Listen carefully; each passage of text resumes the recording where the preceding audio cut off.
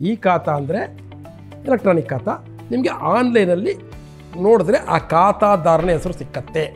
ಬೆಂಗಳೂರಿನ ಆಸ್ತಿಗೆ ಈ ಆಸ್ತಿ ಅನ್ನೋದು ಸಪ್ರೇಟ್ ಪೋರ್ಟಲ್ ಇದೆ. ಅಲ್ಲಿ ನೀವು ಪಿ ಎ ಡಿ ಹಾಕಿದ್ರೆ ನೂರ ಇಪ್ಪತ್ತೈದು ರೂಪಾಯಿನ ಕಟ್ಟಿದ್ರೆ ನಿಮಗೆ ಖಾತಾ ಸರ್ಟಿಫಿಕೇಟ್ ಸಿಕ್ಕತ್ತೆ. ಖಾತಾ ಸರ್ಟಿಫಿಕೇಟ್ ಸಿಕ್ಕಿದ್ರೆ ನಿಮಗೆ ಒಂದು ಅನುಕೂಲ. ನನ್ನ ಆಸ್ತಿ ನನ್ನ ಹೆಸರಲ್ಲೇ ಇದೆ. ಯಾರು ಬೇರೆಯವ್ರಿಗೆ ಮಾರಿಲ್ಲ ಅಥವಾ ಬೇರೆ ಯಾರು ಮೋಸ ಆಗಿಲ್ಲ. ಯಾವುದೇ ಡಾಕ್ಯುಮೆಂಟ್ ಫ್ರಾಡ್ ಆಗಿಲ್ಲ ಅನ್ನೋದನ್ನು ಇದು ಈ ಖಾತಾ. ಎಲ್ಲ ಐವತ್ತು ಜನವು ಸೇರಿ ಯಾರಿಗಾದರೂ ಒಬ್ಬರಿಗೆ ಅಥವಾ ಇಬ್ಬರಿಗೆ ಒಂದು ಅಫಿಡವಿಟ್ ಪ್ರಮಾಣ ಪತ್ರ ಕೊಡಬೇಕು. ರೆವಿನ್ಯೂ ದಾಖಲೆ ಮೂಲಕ ಪ್ರಾಪರ್ಟಿ ಹಕ್ಕುಗಳು ಬದಲಾಗುವುದಿಲ್ಲ. ಎಂ ಆರ್ ಅಂದರೆ ಏನಿಲ್ಲ, ಮ್ಯೂಟೇಷನ್ ರಿಜಿಸ್ಟ್ರ್. ಈಗ ಆರ್ ಟಿ ಸಿ ಅಂದರೆ ಏನು? ಅಗ್ರಿಕಲ್ಚರ್ ಜಮೀನು. ಖಾತಾ ಅಂದರೆ ಏನು? ನಗರದ ಪ್ರದೇಶದ ಜ, ಒಂದು ನೇಮ್ ಚೇಂಜ್ ಆಗುತ್ತೆ. ಆರ್ ಟಿ ಸಿ ಹೆಂಗೆ ತೊಗೊಳ್ಬೇಕು? ಸೇಮ್. ಒಂದು ಕ್ಲಿಷ್ಟಕರವಾದದ್ದು ಇಂದಿನ ವಿಡಿಯೋದಲ್ಲಿ ಎಕ್ಸ್ಪ್ಲೇನ್ ಮಾಡಿದ್ದೆ. ಈ ವಿಡಿಯೋದಲ್ಲಿ ಹೇಳಬೇಕು ಅಂದರೆ ಒಂದು ಸರಳವಾಗಿ ಒಬ್ಬರು ಜಮೀನು ಯಾರೋ ಗಿಫ್ಟ್ ಮಾಡ್ತಾರೆ. ತಂದೆ ಗಿಫ್ಟ್ ಮಾಡ್ತಾನೆ ಜಮೀನು, ಮೂರು ಗುಂಟೆ. ಆ ಮೂರು ಗುಂಟೆ ಜಮೀನು ತಂದೆ ಮಗನಿಗೆ ಗಿಫ್ಟ್ ಮಾಡಿದ್ರೆ ಮಗ ಏನು ಮಾಡ್ತಾನೆ, ನನ್ನ ನಮ್ಮ ಅಪ್ಪನ ಹೆಸರು ಬಂದಿದೆ ಆರ್ ಟಿ ಸಿಯಲ್ಲಿ ಬದಲಾವಣೆ ಮಾಡಿ ಅಂತಾರೆ. ಬಟ್ ಮ್ಯೂಟೇಷನ್ ರಿಜಿಸ್ಟ್ರಲ್ಲಿ ತಂದೆ ಹೆಸರು ತೆಗೆಯಲಾಗಿದೆ, ಮಗನ ಹೆಸರು ಸೇರಿಸಲಾಗಿದೆ. ಸೊ ಅಲ್ಲಿಗೆ ಮ್ಯೂಟೇಷನ್ ಮತ್ತು ಆರ್ ಟಿ ನಿಮ್ಮ ಹೆಸ್ರಿಗೆ ಬಂತು. ಅದೇ ಥರ ಖಾತ. ಈ ಖಾತಾ, ಏನು ಈ ಖಾತಾ? ಈ ಖಾತಾ ರೀ ಎ ಖಾತಾ ಅನ್ರಿ ಬಿ ಖಾತಾ ಅನ್ರಿ ಅದು ರೆವಿನ್ಯೂ ರಿಜಿಸ್ಟರ್ನ ಒಂದು ನಕಲು. ನಮ್ಮ ಕಾನೂನು ದೃಷ್ಟಿಯಲ್ಲಿ ನೀವೇನು ಬೇಕಾದ್ರೂ ಕರ್ಕೊಳ್ಳಿ. ಸರ್ಕಾರ ಏನು ಬೇಕಾದ್ರೂ ಕರ್ಕೊಳ್ಳಿ. ನನಗೆ ರೆವಿನ್ಯೂ ಸರ್ಕಾರಕ್ಕೆ ಪಲ್, ಸಲ್ಲಿಸಬೇಕಾದ ವ್ಯಕ್ತಿಯ ಹೆಸರಿನ, ಬುಕ್ಕಿನ ಹಾಳೆಯ ನಕಲು. ಅಷ್ಟೇ.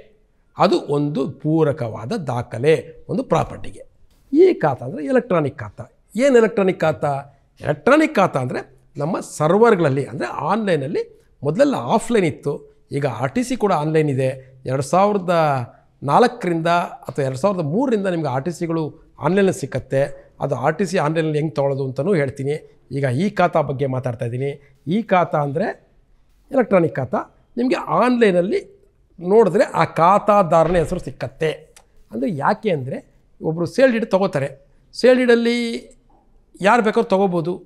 ಅಥವಾ ಏನೋ ಒಂದು ಫ್ರಾಡ್ ಮಾಡಿ ಸೇಳಿರ್ಬೋದು ಖಾತಾ ಯಾರ ಹೆಸರಿದೆ ಹಿಂದಿನ ಹೆಸರು ಯಾರ ಹೆಸರಿತ್ತು ಅದೆಲ್ಲವೂ ಒಂದು ಟೈಟಲ್ ಟ್ರೇಸ್ ಮಾಡೋದಕ್ಕೆ ಒಂದು ರೆಕಾರ್ಡ್ಗಳು ಇವತ್ತು ಈ ಖಾತಾ ಈ ಖಾತಾ ಅಂದರೆ ಮ್ಯಾನ್ಯಲ್ ಬದಲು ಅದು ಆನ್ಲೈನಲ್ಲಿ ಸಿಕ್ಕತ್ತೆ. ಹೌದು ಸ್ವಾಮಿ, ಈಗ ಏನೋ ಈ ಖಾತಾ ಇಲ್ಲದೆ ತುಂಬ ಕಷ್ಟ ಅಂತೆ, ಈ ಖಾತಾ ತಗೊಳ್ಳೋದು ಹೆಂಗೆ? ಹೆಂಗೂ ಇಲ್ಲ ಸರ್, ತುಂಬ ಸರಳ. ನಿಮ್ಮ ಹೆಸ್ರಲ್ಲಿ ಆಲ್ರೆಡಿ ಖಾತಾ ಇದ್ದರೆ ನೀವು ಆ ಖಾತಾ ಸರ್ಟಿಫಿಕೇಟ್ ತಗೊಂಡು, ಇನ್ನೂ ನಮ್ಮ ಹೆಸ್ರಲ್ಲೇ ಅಂದರೆ ನಿಮ್ಮ ತಾಯಿ ಹೆಸ್ರಲ್ಲಿ ಖಾತಾ ಇರುತ್ತೆ. ಅಥವಾ ನಿಮ್ಮ ತಂದೆ ಹೆಸ್ರಲ್ಲಿ ಇರುತ್ತೆ.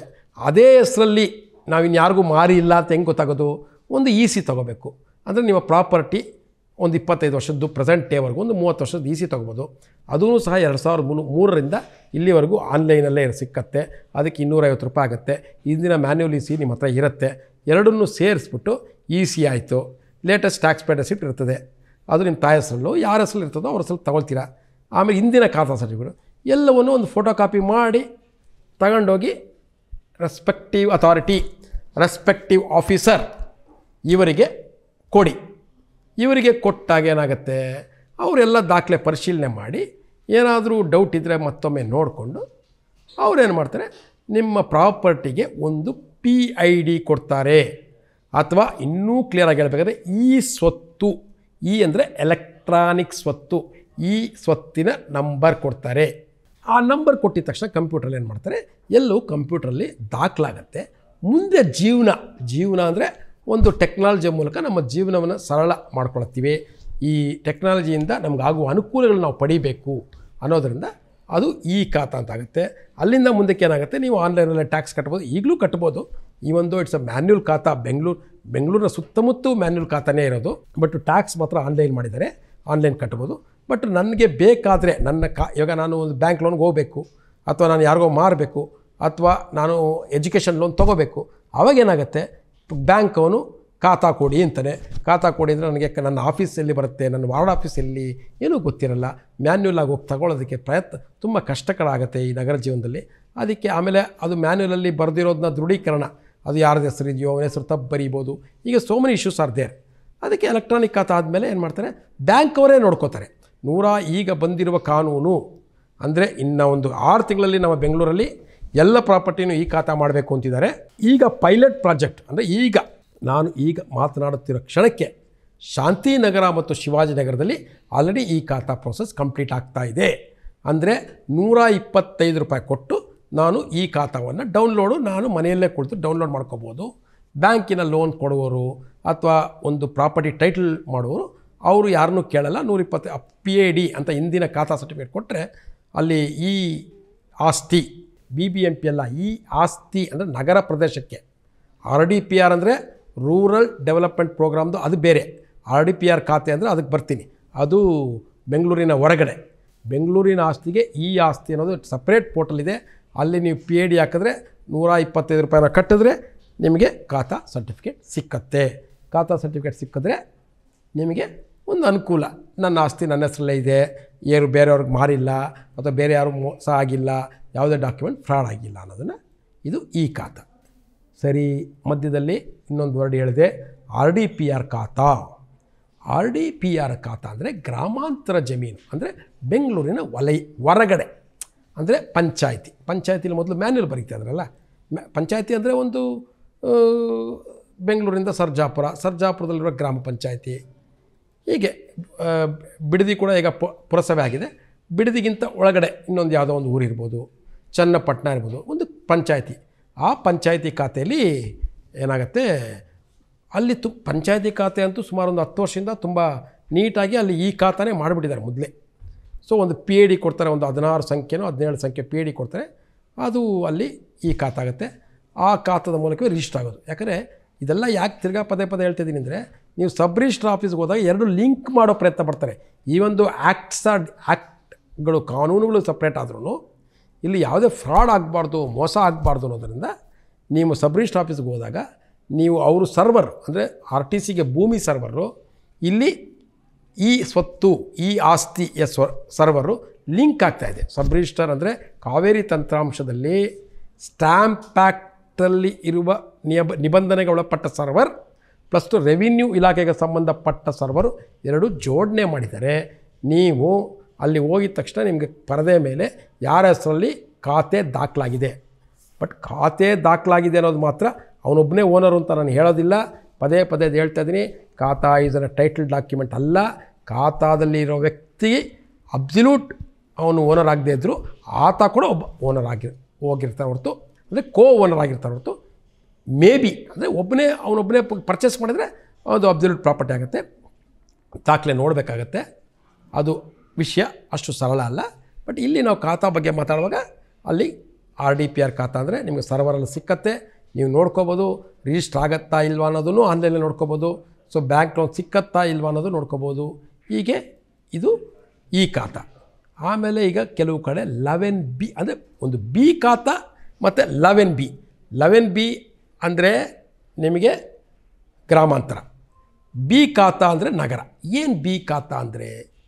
ಈಗ ಎಲ್ರಿಗೂ ಗೊತ್ತಿದ್ದಂಗೆ ನಾನು ಪದೇ ಪದೇ ಹೇಳ್ತೀನಿ, ಒಂದು ದಾಖಲೆಗೆ, ಒಂದು ಜಮೀನು ಅಥವಾ ಒಂದು ಸೈಟಿಗೆ ಅದರ flow of the title plus ಸರ್ಕಾರಕ್ಕೆ ಸಮ್ಮ ಸರ್ಕಾರಕ್ಕೆ ಸಂಬಂಧಿಸಿದ ಹಣಗಳು ರೆವಿನ್ಯೂವನ್ನು ಬರೆಸಿದ್ದೀರಾ? ಸರ್ಕಾರಕ್ಕೆ ಸಂಬಂಧಿಸಿದ ಹಣಕಾಸುಗಳು, ಅದಕ್ಕೆ ಕೊಡಬೇಕಾದ ಫೀಸ್ಗಳು ಕೊಟ್ಟಿದ್ದೀವಾ ಇಲ್ವಾ? ಅದು ಕೊಡದೇ ಇದ್ದರೆ ರೆವಿನ್ಯೂ ಸೈಟ್ ರೆವಿನ್ಯೂ ಸೈಟ್ ಅಂದರೆ ಏನು? ಸರ್ಕಾರಕ್ಕೆ ರೆವಿನ್ಯೂ ಕೊಟ್ಟಿಲ್ಲ. ಆ್ಯಕ್ಚುಲಿ ನಾನ್ ರೆವಿನ್ಯೂ ಸೈಟ್ ಅಂತ ಕರಿಬೇಕಾಯಿತು. ಅದು ಯಾವನ್ನದನ್ನು ರೆವಿನ್ಯೂ ಸೈಟ್ ಅಂತ ಕರೆದು ನನಗೆ ಗೊತ್ತಿಲ್ಲ. ಯಾಕಂದರೆ ಸರ್ಕಾರಕ್ಕೆ ರೆವಿನ್ಯೂ ಕೊಡದೇ ಇರೋದ್ರಿಂದ ಅದು ನಾನ್ ರೆವಿನ್ಯೂ ಆಗಬೇಕಾಗಿತ್ತು ಬಟ್ ಜನಸಾಮಾನ್ಯರ ಭಾಷೆಯಲ್ಲಿ ರೆವಿನ್ಯೂ ಸೈಟ್ ರೆವಿನ್ಯೂ ಸೈಟ್ ಅಂದರೆ ಏನು? ಅದೊಂದು ದೊಡ್ಡ ವಿಷಯ. ಬಟ್ ಖಾತೆಗೆ ಸಂಬಂಧಪಟ್ಟಂಗೆ ಹೇಳ್ತಾ ಇದ್ದೀನಿ. ಈ ರೆವಿನ್ಯೂ ಸೈಟ್ಗಳಲ್ಲಿ ನಾವು ಯಾವುದೇ ವಿಧವಾದ ಸರ್ಕಾರದ ನಿಬಂಧನೆಗಳು ಫಾಲೋ ಮಾಡಿರಲ್ಲ. ಅಂದರೆ ಸರ್ಕಾರ ಒಂದು ಮನೆ ಕಟ್ಟಬೇಕು ಒಂದು ಲೇಔಟ್ ಮಾಡಬೇಕು, ಒಂದು ಅಪಾರ್ಟ್ಮೆಂಟ್ ಕಟ್ಟಬೇಕು ಅಂತ ಒಂದು ನಿಯಮ ಇರುತ್ತೆ ಪ್ಲ್ಯಾನ್ ಇರುತ್ತೆ. ಯಾವುದೇ ಪ್ಲ್ಯಾನ್ ಇಲ್ಲದೆ ತುಂಬ ನಿಯಮಗಳು ಫಾಲೋ ಮಾಡಿ, ಯಾವುದೋ ಒಂದು ಎರಡು ಮೂರು ನಿಯಮ ಬಿಟ್ಟಿದ್ದರೆ ಏನಾದರೆ ಕನ್ವರ್ಷನ್ ಆಗಿದೆ ಪ್ಲ್ಯಾನಿಂಗ್ ಅಥಾರಿಟಿಯಿಂದ ಅಪ್ರೂವಲ್ ಆಗಿರಲ್ಲ ಅಪಾರ್ಟ್ಮೆಂಟ್ ಕಟ್ಟಿದ್ದೀನಿ ಬಟ್ ಓಸಿ ತಗೊಂಡಿರಲ್ಲ, ಹೀಗೆ ಸೋ ಮೆನಿ ಆ್ಯಕ್ಟ್ಸ್ ಆರ್ ಆ್ಯಕ್ಟ್ಸ್ಗಳು ಬರುತ್ತೆ. ಇಲ್ಲಿ, ಅದರಿಂದ ಏನಾಗುತ್ತೆ ರೆವಿನ್ಯೂ ಅಂತ ಕರೆದ್ಬಿಡ್ತೀವಿ ನಾವು. ಅದಕ್ಕೇನು ಮಾಡಿದ್ರು? ಇಷ್ಟು ದಿನ ಅದಕ್ಕೆ ಟ್ಯಾಕ್ಸೂ ಇಲ್ಲ. ಅವನ ಹೆಸರಲ್ಲಿ ದಾಖಲೆನೂ ಇರಲ್ಲ. ಯಾವುದೋ ಹಳೆ ಹೆಸರಲ್ಲಿ ಹೋಗ್ತಾ ಇರುತ್ತೆ. ಅಲ್ಲೂ ಪಾಣಿ ಇರುತ್ತೆ. ನಾನು ನಿಮ್ಗೆ ಆರ್ ಟಿ ಸಿ ಅಂದೆ ಆರ್ ಟಿ ಸಿ ಏನು ಮಾಡ್ತಾರೆ? ಸಿದ್ದಪ್ಪಾಜಿ, ರಾಮಜ್ಜಿ, ಗೌರಮ್ಮ ಯಾರೋ ಒಂದು ಹೆಸರಲ್ಲಿ ಖಾತಾ ಇರುತ್ತೆ. ಜಮೀನು ಇರ್ತದೆ. ಇವನೇನು ಮಾಡ್ದ? ಅದನ್ನು ನಾವು ನಮ್ಮ ಭಾಷೆಯಲ್ಲಿ ಅಥವಾ ನನ್ನ ಭಾಷೆಯಲ್ಲಿ ನಾಲ್ಕು ಕಲ್ಲಿನ ಸೈಟು ಅಂತೀವಿ. ಜಮೀನು ಬಾಳ್ತು. ದೇ ಇದು ನಗರ ಬೆಳೀತು. ನಾಲ್ಕು ಕಲ್ಲಿಟ್ಟ ನಿಂದೆ ಸೈಟು ಅಂದ ಅವರು ಹೋದ್ರು ಮನೆ ಕಟ್ಕೊಂಬಿಟ್ರು. ಖಾತ ಯಾರ ಹೆಸರಲ್ಲಿದೆ ಅಜ್ಜಿ ಹೆಸರಲ್ಲಿದೆ ಅಜ್ಜಿ ಸತ್ಲು, ಮಕ್ಕಳು ಸತ್ರು, ಮೊಮ್ಮಕ್ಕಳು ಸತ್ರು. ಈಗ ಮನೆ ಓನರು ನಮ್ಮ the mister Girish Rao, software engineer. But ಅವನು ರೆವಿನ್ಯೂ ಸೈಟು. ಏನು ರೆವಿನ್ಯೂ ಸೈಟು? ಸರ್ಕಾರಕ್ಕೆ ಕೊಡಬೇಕಾದ ಯಾವುದೇ ಫೀಸು ಅಲ್ಲಿ ಕೊಟ್ಟಿಲ್ಲ. ಇದು ತಲತಲಾಂತರದ ನಡ್ಕೊಂಡು ಬಂತು. ಸರಿ, ಏನು ಮಾಡೋದು ಇದಕ್ಕೆ? ಜನ ತಗೊಂಡಿದ್ದಾರೆ, ಜನ ಮನೆ ಕಟ್ಟಿದ್ದಾರೆ, ಅಲ್ಲಿ ಇನ್ನೊಂದು ಡ್ವೆಲ್ಲಿಂಗ್ ಹೌಸ್ ಅಂತ ಬರುತ್ತೆ. ಅಂದರೆ ವಾಸಯೋಗ್ಯ ಮನೆಗೆ ಕೆಲವು ಕಾನೂನುಗಳಿರುತ್ತೆ ಅಂದರೆ ಡ್ವೆಲ್ಲಿಂಗ್ ಹೌಸ್ ಅನ್ನೋದಕ್ಕೆ ಒಂದು ಕಾನೂನು ಸಪೋರ್ಟ್ ಮಾಡುತ್ತೆ. ಅದು ಒಂದು ಸಬ್ಜೆಕ್ಟು. ಆದ್ದರಿಂದ ಇದನ್ನು ನಾಳೆ ಬೆಳಗ್ಗೆ ಬಂದು ಹೊಡೆದಾಕ್ ಆ್ಯಕ್ಚುಲಾಗಿ ಅನಧಿಕೃತ ಲೇಔಟನ್ನು ಐನೂರು ರೂಪಾಯಿ ಕೊಟ್ಟು, ಅಂದರೆ ಐನೂರು ರೂಪಾಯಿ ದಂಡ ವಿಧಿಸಿ ನೆಲ ಸಮ ಮಾಡ್ಬೋದು. ಆ ಅಧಿಕಾರ ಇದೆ ಸರ್ಕಾರಕ್ಕೆ. ಬಟ್ ಸರ್ಕಾರಗಳು ಒಂದು ಜನಸಾಮಾನ್ಯರ ಹಿತದೃಷ್ಟಿಯಿಂದ ಈ ಅನಧಿಕೃತ ಲೇಔಟ್ಗಳು ಅಂತ ಏನಂತೀವಿ, ಅಥವಾ ಈ ರೆವಿನ್ಯೂ ಸೈಟ್ ಏನಂತೀವಿ, ಅಥವಾ ಈ ಓ ಸಿ ಇಲ್ಲದೇ ಇರೋ ಅಪಾರ್ಟ್ಮೆಂಟು ಅಂತ ಹೇಳ್ತೀವಿ, ಇವರೆಲ್ಲರೂ ನಗರ ಬೆಳೀತಲ್ವ? ಇದು ಒಂದು ಬೆಳ್ಕೊಂಬಿಡ್ತು, ಒಂದು ಅನಧಿಕೃತ ಆಸ್ತಿಯ ವಹಿವಾಟುಗಳು. ಬಟ್ಟು ಈ ಥರ ರೆವಿನ್ಯೂ ಸೈಟ್ಗಳು ಸಾವಿರಾರು ಸೈಟ್ಗಳಿದೆ ಲಕ್ಷಾಂತರ ಮನೆಗಳಿದೆ. ಬಟ್ ಯಾರೂ ತೆರಿಗೆ ಕಟ್ತಲ್ಲ ಯಾಕಂದ್ರೆ ತೆರಿಗೆ ಕಟ್ಟಕ್ಕೆ ಆಸೆ ಇದ್ದರೂ ನನಗೇನು ಅವಕಾಶ ಇಲ್ಲ. ಆವಾಗ ಏನು ಮಾಡ್ತು ಸರ್ಕಾರ? ಒಂದು ಬಿ ರಿಜಿಸ್ಟರ್ ಅಂತ ಓಪನ್ ಮಾಡ್ತು. ಏನು? ಅದಕ್ಕೆ ಕೆಲವು ಕಾನೂನು ತೊಡಕುಗಳಿದ್ದವು. ಅದು ರಾಜ್ಯಪಾಲರಿಂದ ಅಂಕಿತ ಆಗಬೇಕಾಯಿತು. ಯಾಕಂದರೆ ಒಬ್ಬ ಅಫಿಷಿಯಲ್ ಆಗಿ ಲೇಔಟ್ ಮಾಡಿ ಅದಕ್ಕೊಂದು ಸರ್ಕಾರಕ್ಕೆ ಫೀಸ್ ತುಂಬಿ, ಅವನು ಪಕ್ಕದಲ್ಲಿರ್ತಾನೆ. ಇವನು ರೆವಿನ್ಯೂ ಸೈಟ್ ಅಂದರೆ ನಾನ್ ರೆವಿನ್ಯೂ ಅಂತ ಹೇಳಬೇಕು. ಜನಸಾಮಾನ್ಯರ ಭಾಷೆ ರೆವಿನ್ಯೂ ಇರ್ತದೆ ರೆವಿನ್ಯೂ ಸೈಟ್ ಅವನು ಯಾವುದೇ ದುಡ್ಡು ಕೊಡದೆ ಆರಾಮಾಗಿರ್ತಾನೆ. ಇವನಿಲ್ಲಿ ಟ್ಯಾಕ್ಸ್ ಕೊಡ್ತಾ ಇರ್ತಾನೆ. ಸೊ ಇವನು ಕೇಸ್ ಹಾಕ್ತಾನೆ ಯಾರು? ಅಫಿಷಿಯಲ್ ಲೇಔಟ್ ಇರೋನು. ಸ್ವಾಮಿ, ಇದೆಲ್ಲ ಹಿಂಗೆ ಇದು ಮಾಡಬಾರ್ದು ಅಂತ. ಆದ್ದರಿಂದ ಕೆಲವು ಕಾನೂನು ತೊಡಕುಗಳನ್ನ ಪರಿಶೀಲಿಸಿ, ಇವನಿಗೆ ಯಾವುದೇ ಹಕ್ಕು ಕೊಡಲ್ಲ, ಸರ್ಕಾರ ನಾಳೆ ಬೆಳಗ್ಗೆ ಡೆಮಾಲಿಷ್ ಮಾಡ್ಬೋದು, ಹಕ್ಕುಗಳನ್ನೆಲ್ಲ ರಿಸರ್ವ್ ಮಾಡಿಕೊಂಡು ಬರೀ ಟ್ಯಾಕ್ಸ್ ಕಲೆಕ್ಟ್ ಮಾಡೋದು. ಯಾಕಂದ್ರೆ ಅಲ್ಲಿ ಅವನು ನಲ್ಲಿ ನೀರು ಕೊಡಬೇಕು. ಯಾಕಂದರೆ ಮನೇಲಿ ವಾಸ ಇದ್ದಾರೆ. ಅವನ ಡ್ರೈನೇಜು ನೀರು ಹೋಗುತ್ತೆ. ಅದಕ್ಕೊಂದು ಮೋರಿ ಸಂಪರ್ಕ ಕೊಡಬೇಕು. ಎಲ್ಲವೂ ಸರ್ಕಾರ ಕೊಟ್ಟು ತೆರಿಗೆ ಹಣ ತೊಗೊಳ್ಳಿಲ್ಲ ಅಂದರೆ ಹೇಗೆ? ಅದಕ್ಕೆ ಏನು ಮಾಡ್ತು ಸರ್ಕಾರ? ಒಂದು ಬಿ ರಿಜಿಸ್ಟ್ರ್ ಅಂತ ಓಪನ್ ಮಾಡ್ತು. ಅಲ್ಲಿ ಆವಾಗ ಏನಾಯಿತು? ಬಿ ಖಾತ ಅಂತ ಬಂತು. ಆ್ಯಕ್ಚುಲಾಗಿ ಅದು ಬಿ ರಿಜಿಸ್ಟರ್ ಅಂದರೆ ಒಂದು ಅನಧಿಕೃತ ರಿಜಿಸ್ಟ್ರಿಗೆ ಒಂದು ಇವಾಗ ಎ, ಬಿ ಅಂತೀವಲ್ಲ, ಆ ಥರ ಒಂದು ಇಟ್ಕೊಂಡ್ರು. ಅದರಲ್ಲಿ ಟ್ಯಾಕ್ಸ್ ಕಲೆಕ್ಟ್ ಮಾಡ್ಕೊಂಡು ಬಂದರು. ನೀವು ಈಗಲೂ ಗಮನಿಸ್ಬೋದು, ಯಾವುದೇ ಖಾತಾ ಅನಧಿಕೃತ ಅಂತ ಗೊತ್ತಾಗಬೇಕು ಅಂದರೆ ಅಲ್ಲೇ ಒಂದು ಸೀಲ್ ಹೊಡೆದ್ಬಿಡ್ತಾರೆ. ಈ ಖಾತಾವು ತಕ್ ಕ್ಷಣದಿಂದ ರದ್ದಾಗಬಹುದು. ಯಾವುದೇ ನ್ಯಾಯಾಲಯದಲ್ಲಿ ವ್ಯಾಜ್ಯ ಬಂದರೆ ಆಟೋಮೆಟಿಕ್ಕಾಗಿ ಇದು ಮಾಲೀಕತ್ವವನ್ನು ದೃಢೀಪಡಿಸುವುದಿಲ್ಲ ಅಂತ ಸೀಲೆಲ್ಲ ಹೊಡೆದು ಒಂದು ನಿಮಗೆ ಕೊಡ್ತಾನೆ. ಯಾಕೆ ಕೊಡ್ತಾನೆ ಅಂದರೆ ಸರ್ಕಾರಕ್ಕೆ ಹಣ ಬೇಕಲ್ಲ ಸರ್. ಯಾಕಂದರೆ ನಿಮಗೆ ಡ್ರೈನೇಜ್ ಕೊಡಬೇಕು, ನಿಮಗೆ ಆ ಲೇಔಟ್ಗೆ ರಸ್ತೆ ಕೊಡಬೇಕು. ನೀವು ಒಳಗಡೆ ರಸ್ತೆ ಇರುತ್ತೆ, ನಿಮಗೆ ಮಧ್ಯೆ ರಸ್ತೆ ಕಲ್ಪಿಸ್ಬೇಕಲ್ಲ. ಅದಕ್ಕೆ ಹೇಳಿದ್ದು ಖಾತಾ ಅಂದರೆ ರೆವಿನ್ಯೂ ಬೇರೆ ಇನ್ನೇನು ಇಲ್ಲ. ರೆವಿನ್ಯೂ ಕಲೆಕ್ಟ್ ಮಾಡೋಕ್ಕೆ ಒಂದು ಖಾತಾ ದಾಖಲೆ. ಆದ್ದರಿಂದ ಈ ಬಿ ಅನ್ನೋದು ಬಂತು. ಈಗ ಬಿ ಖಾತಾ ಅಂದರೆ ಗೊತ್ತಾಯ್ತಲ್ವ? ಎ ಖಾತಾ ಅಂದರೆ ಒಂದು ಅಪ್ರೂವ್ಡ್ ಲೇಔಟಲ್ಲಿ ಕಟ್ಟಿರೋದು. ಬಿ ಡಿ ಎದಲ್ಲಿ ಅಥವಾ ಸರ್ಕಾರಕ್ಕೆ ಸಲ್ಲಬೇಕಾದ ಎಲ್ಲ ಶುಲ್ಕಗಳು, ಎಲ್ಲ ಫೀಸ್ಗಳನ್ನು ಕೊಟ್ಟಿದ್ದರೆ ಅದಕ್ಕೆ ಏಕಾತ ಅಂತೀವಿ. ಯಾವುದೇ ಶುಲ್ಕ ಕೊಡದೆ ಅಥವಾ ಕೆಲವು ಕಡೆ, ಕೆಲವು ಶುಲ್ಕ ಕೊಟ್ಟು ಕೆಲವು ನಿಬಂಧನೆಗಳು ಮೀರಿದರೆ ಬಿ ಖಾತ ಅಂತೀವಿ. ಇದು ಎ ಖಾತ ಮತ್ತು ಬಿ ಖಾತ. ಮತ್ತು ಲೆವೆನ್ ಬಿ ಅಂದರೆ ಏನು? ಅಥವಾ ಈ ಎ ಖಾತ ಬಿ ಖಾತಾಗಳನ್ನು ಹೇಗೆ ಪಡೆಯೋದು? ನಗರದಲ್ಲಿ ಖಾತಾಗಳ ಸಮಸ್ಯೆ ಏನು? ಈಗ ಬರುವ ಈ ಇ ಖಾತಾ ಪಡೆಯಲು ಸರಳ ಸೂತ್ರ ಕೂಡ ನಾನು ಆಲ್ರೆಡಿ ಹೇಳಿದ್ದೀನಿ. ಈ ಖಾತಾ ಹೇಗೆ ತೊಗೋಬೇಕು ಅನ್ನೋದು ಹಿಂದಿಂದ ಈಗ ಕೆಲವು ನಿಮಿಷಗಳ ಮುಂಚೆ ಹೇಳಿದ್ದೀನಿ. ಇದ್ರ ಮಧ್ಯೆ ಈ ಖಾತಾ ಬಗ್ಗೆ ಏನು ಡೌಟ್ ಇದ್ರೂ ತಾವು ಈ ಕೆಳಕಂಡ ನಂಬರ್ನ ಸಂಪರ್ಕ ಮಾಡ್ಬೋದು. ಮತ್ತೊಮ್ಮೆ ಹೇಳ್ತೀನಿ, ಈ ಎಲ್ಲ ವಿಷಯಗಳು only for information not to act on ಅಂದರೆ ಒಂದು ಸಮ, ಜನಸಾಮಾನ್ಯರು ತಿಳ್ಕೊಳ್ಳಿ ಅಂತ ಅಷ್ಟೇ ಹೊತ್ತು ಇದರ ಮೇಲೆ ಕಾನೂನಿನ ಡಿಸಿಷನ್ಗಳು ತೊಗೋಬಾರ್ದು. ತಮಗೆ ಏನಾದರೂ ಕಾನೂನಿನ ಅವಶ್ಯಕತೆ ಇದ್ದರೆ ತಮ್ಮ ಸಮೀಪದ ಅಡ್ವೊಕೇಟು ಅಥವಾ ಕಾನೂನು ತಿಳಿದವರ ಬಳಿ ತಾವು ಸಮಾಲೋಚಿಸಿ ಮುಂದಿನ ತೀರ್ಮಾನ ತಗೋಬೇಕು. ಇನ್ನೇನಾದರೂ ಬಿಟ್ಟಿದ್ದರೆ ನಾನು ಹೇಳಿರೋ ವಿಷಯಗಳನ್ನು ಪಾಯಿಂಟಲ್ಲಿ ಅದನ್ನು ಮುಗಿಸಿ ಕಮೆಂಟ್ಗಳಲ್ಲಿ ಯಾವುದಾದ್ರೂ ಬಂದರೆ ಅದಕ್ಕೆ ಒಂದು ಉತ್ತರ ಕೊಟ್ಟು ಖಾತಾವನ್ನು ಕಾತಾನು ಒಂದು ಈ ವಿಷಯವನ್ನು ಮುಗಿಸೋಣ. ಅಲ್ಲಿವರೆಗೂ ನಮಸ್ಕಾರ. ಮತ್ತಷ್ಟು ವಿಶೇಷ ವಿಡಿಯೋಗಳನ್ನು ನೋಡಲು ಮತ್ತು ಹೊಸ ವಿಡಿಯೋಗಳ ಬಗ್ಗೆ ತಿಳಿಯಲು ಈ ದಿನ dot com YouTube channel subscribe ಮಾಡಿ ಮತ್ತು ಬೆಲ್ ಐಕಾನ್ ಕ್ಲಿಕ್ ಮಾಡಿ.